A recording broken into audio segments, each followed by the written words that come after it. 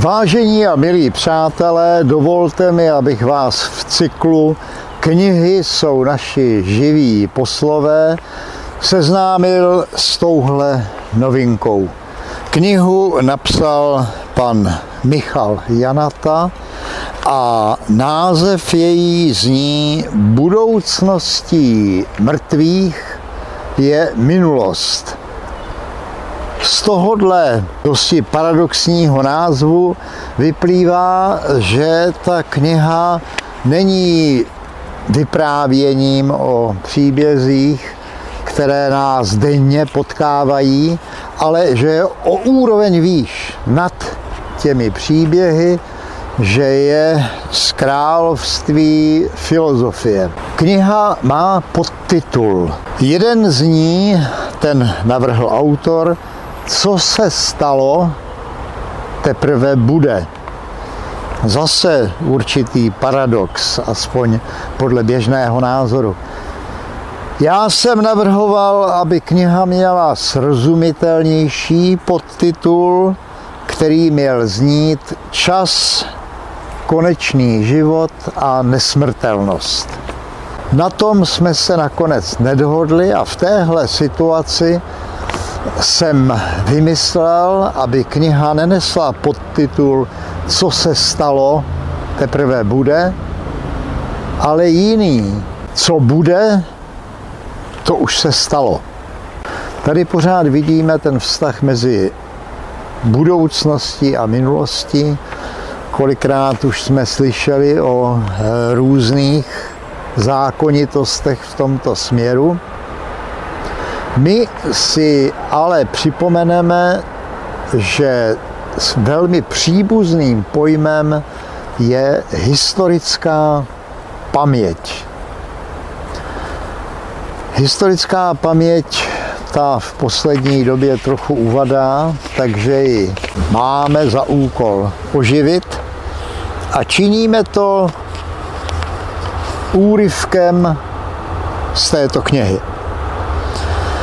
Jedním z největších prohřešků naší doby je absence závaznosti živých vůči mrtvým. Mrtví jsou našimi věřiteli, aniž by to věděli. Ale to neznamená, že bychom my, zatím živí, se měli této zodpovědnosti zříkat. Co se stane, nebudeme-li vůči našim mrtvým splácet dluh? Staneme se pouhým derivátem, odvozeninou technologicky projektované budoucnosti. Možná budeme podrobeni vůli umělých inteligencí natolik, že ztratíme svou dosavadní tělesnou i duševní integritu. Kde nemají mrtví perspektivu, že budou žít dál v životě těch, kteří přijdou po nich, tam nemají perspektivu ani živí. Mrtví jsou základem toho, co a jak žijeme. Prosím, promysleme si tenhle citát. Jak je to se vztahem, naším vztahem k času? O tom uvažují lidé už stovky, spíš tisíce let.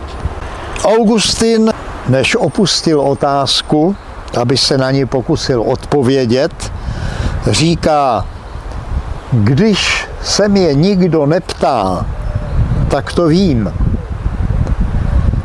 Kdybych to ale chtěl někomu vysvětlit, tak nevím. S časem je to, myslím, právě tak. A kdybyste se vy mě zeptali, jakou příbuznost třeba v české literatuře nacházím, tak to není jenom Karel Hinek Mácha, kterého autor cituje v úvodu. Je tam citát z Máchova máje, ale také například známá, slavná, řekl bych, a úžasná povídka českého spisovatele Jaroslava Havlíčka, která se jmenuje Zánik městečka Olšiny a která začíná slovy Náš milý pán Bůh umřel. Oznámil jednoho dne penzistovi Holcovi jeho anděl strážný. Tak prosím, vezměme do ruky nejenom Máchu v máj a Havlíčku v zánik městečka Olšiny, ale také knihu Budoucností mrtvých je minulost od Michala Janaty. S knihou i s jejím autorem se můžete seznámit příští středu 26.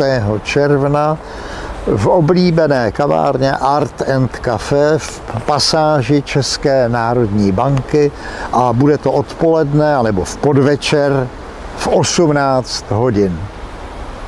Děkuji vám a mějte se hezky.